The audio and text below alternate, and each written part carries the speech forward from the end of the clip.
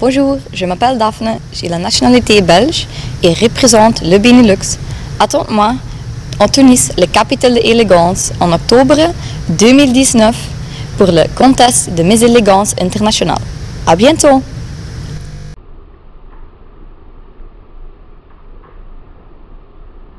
Hallo, mijn naam is Daphne. Ik ben Belgische en ik vertegenwoordig de Benelux. Wacht op mij in Tunesië, de hoofdstad van de elegantie, in oktober 2019 voor de Miss Elegance International Contest. Tot dan, dag!